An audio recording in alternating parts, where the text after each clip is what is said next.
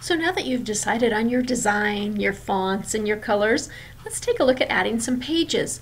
Your pages will be posted up here in this particular design. Some would have them down the side, um, on this side or the other. And some pages you can hide and just have a link somewhere on your page to them and not have them in your main menu. But let's go ahead and click on Pages. And you'll see that there are three pages already in this particular one. Any page I don't want, I can just click on it and say Delete Page.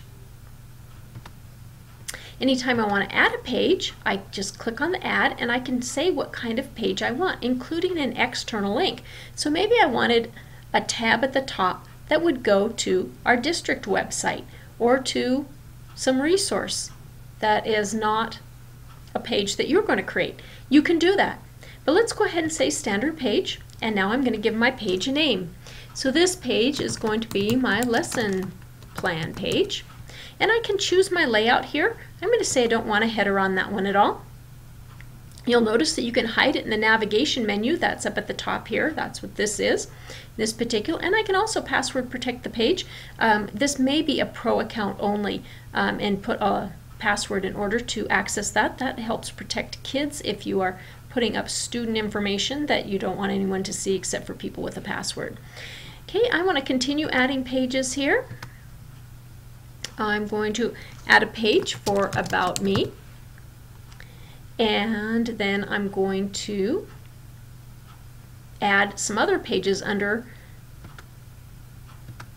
the lesson plan page. I'm going to put some different months. I'm going to put September. Add another page. October. Add another page and November. You'll notice I'm not a very good speller, um, but I can always go back in and fix that just by clicking on this page and amending it. Okay, now these pages are in the wrong order. In fact, I want my lesson plans months right underneath my lesson plans. Notice how that I can I can indent these. Maybe I want the about me right next to home. So when they're indented, let me just show you when I click on Save and Edit, that they now become drop-down menus on the page. Wow, what happened to this? I think I'll refresh my browser here. This pulling in a little bit better.